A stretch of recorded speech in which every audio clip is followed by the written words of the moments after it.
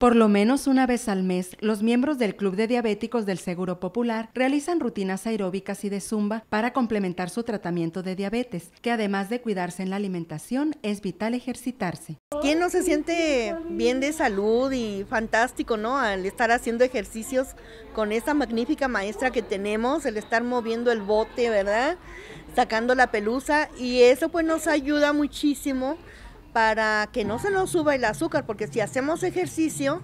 vamos a estar más controlados, aparte de nuestros medicamentos, como debemos de saber, la diabetes no nada más se controla con medicamentos,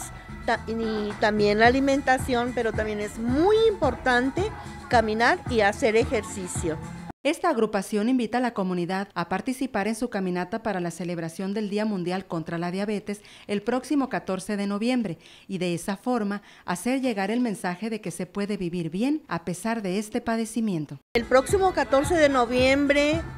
se celebra el Día Mundial de la Diabetes, por lo que vamos a celebrarlo con una caminata que va a salir del Seguro Social, del lado donde son urgencias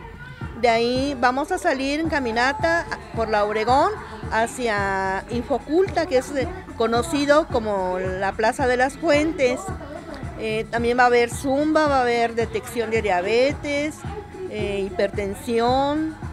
va a haber muchas actividades culturales. Quienes sufren de diabetes pueden pertenecer a una agrupación que les aporte, además de la información necesaria para el tratamiento de esta enfermedad, indicaciones para que físicamente su cuerpo se mantenga activo y su actitud sea más positiva. Y yo invito a todas las personas que se unan a este grupo porque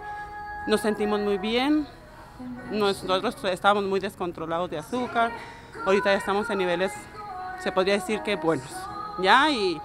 y todo, y me gustaría mucho, ojalá que toda la gente que sea o que no tenga la enfermedad se una a este grupo, porque no es nada más de enfermos,